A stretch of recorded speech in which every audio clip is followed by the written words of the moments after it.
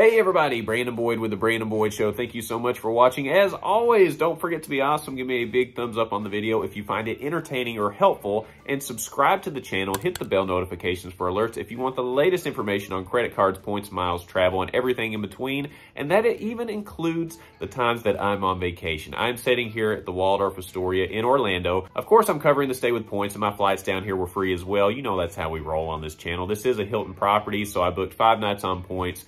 So book four, the fifth night's free when you book on points. So that's how we do things here. Not only do I show you strategies of how to earn these points, but I live it every single day, every single week. I've traveled like a madman here recently, and I think it's important that you see exactly what the outcomes look like here. So that's why you've seen on the channel some reviews of resorts, some lounges, because I want to put two and two together here and show you what the big reward is at the end of the day. That's also why I'm wearing my tie-dye t-shirt. This is vacation mode, baby. I'm in my hat, I'm in my shirt, I'm in my hotel room. I'm enjoying myself, getting ready to head down to the pool. But before I do so, I came across some news that I thought was very important and worthy of a video just to update everyone. If you're familiar with this channel, you know that I like the American Express Business Platinum Card at $595 for an annual fee. I think you get a ton of value out of it, including the $200 airline credit and much, much more. However, some recent news came out that there's now new enhanced benefits.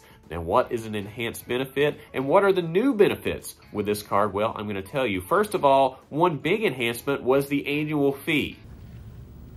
No! God, please, no! No! Okay, the annual fee bumped up from $595 to $695. And on the surface, you may say, Geez, Louise, can you stop increasing the annual fees? And I agree with you. I totally understand where you're coming from. However, in looking at these benefits, I think they way more than offset the annual fee cost. Even if you're not a large business that's going to utilize all the credits, you really only need to utilize one of the new credits and you'll come out ahead on all this. It's important to know that if you want to avoid this annual fee increase, then you need to apply before January the 13th because that's when the annual increase will take effect. So think about that. You could secure a $595 annual fee, which is the current fee, right now and still receive all these enhanced and new benefits. So if you were thinking about it, get on it and take advantage now. And even when the annual fee increases, I think these new benefits way more than offset that additional cost. I'm going to pull this up on my iPad in front of me because I'm getting this information uh, as new as everyone else is. So I'm pulling this up on the website right now. So you can see on the public facing website right now, the current welcome offer is 120,000 membership rewards with $15,000 spent in three months, which is a really good offer. However, my wife applied under my referral link, which will be down in the description below, and she was able to get 150,000 membership rewards as a welcome offer. So do your due diligence. Check out that link to see if it pops up as 150,000. It did for her, and she was able to apply for the card and get that. An unboxing video will be coming, and we'll detail the entire card as a whole, but this video is going to be dedicated to all the new stuff. As I pull this up, the first thing you'll notice is that you'll earn not only 1.5 times points on purchases of $5,000 or more, you can now earn 1.5 times points on select business categories. And just looking at this, those categories are construction material and hardware supplies, electronic goods retailers and software and cloud system providers, and shipping providers. So again, that's an enhanced benefit. You could earn 1.5 times before, but you had to have really large purchases, and that is no longer the case. So that's an enhanced benefit. I don't know how many times I'm going to say the word enhanced here, but that's the verbiage that American Express is using, so please forgive me, just overlook that. It should be noted that although you do get 1.5 times membership rewards with certain purchases, in my case, I have the Blue Business Plus card, which earns two times membership rewards. So for me, it makes sense to use the Blue Business Plus card to get the two times membership rewards as opposed to earning 1.5 times membership rewards. But if you don't have the Blue Business Plus,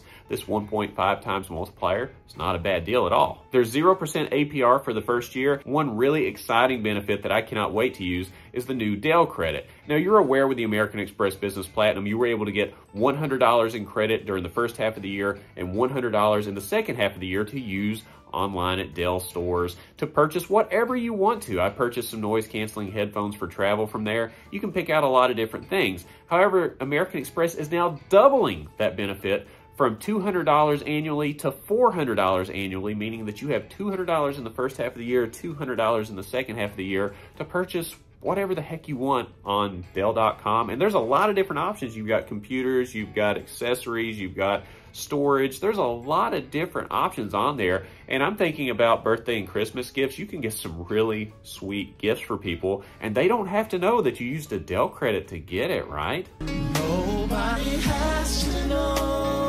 $200 goes a long way on there. You can get a really nice pair of noise canceling headphones with a carrying case and the whole nine yards when you're traveling on the plane using your points and miles like I am.